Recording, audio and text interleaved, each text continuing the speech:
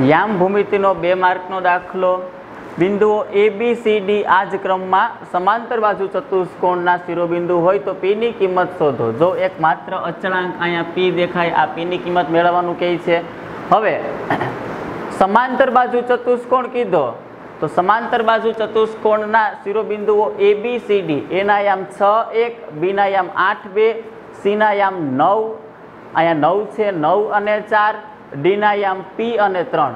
તો સમાંતર બાજુ ચતુષ્કોણના વિકર્ણ દુભાગે. વિકર્ણ એટલે કે એસીનું મધ્યબિંદુ પણ એમ હોય અને બીડીનું મધ્યબિંદુ પણ એમ જ હોય. મધ્યબિંદુ સરખાવીને દાખલો ગણવાનો.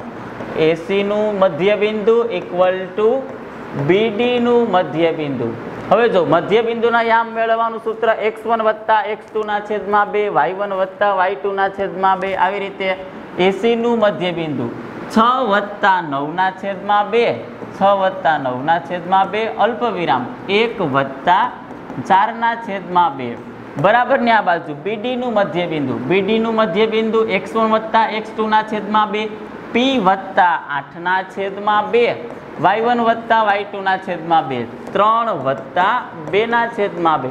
હવે જો એક્સ્યામ એક્સ્યામ સરખાવું આ બાજુ છ ને નવ છેદમાં બે, આ બાજુ પી વત્તા આઠ, છેદમાં બે બે બાજુ છેદમાં બે છેદમાં બે જાય.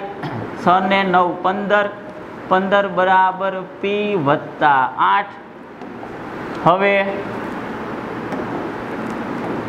પંદર બરાબર પી વત્તા આઠ, આ પ્લસ આઠ બરાબરની આ બાજુ જાય તો માઇનસ આઠ થાય.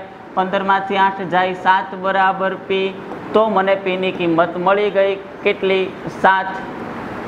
જોઈ લો દાખલો આખો એક વખત.